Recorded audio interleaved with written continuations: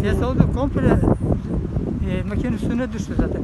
Ayrıldı bina yani. Operatörün e, biraz durumu sakat.